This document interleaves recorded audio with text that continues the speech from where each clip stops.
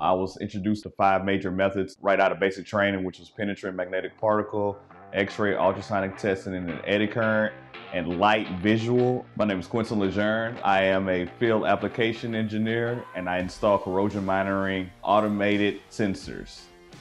I wanted to get into inspections, and in my opinion, one of the best ways is through the military because uh, it's free training. And coming out of the military, that was one of my biggest certifications and skills that I learned after the Air Force. To build upon that, it was phased array training.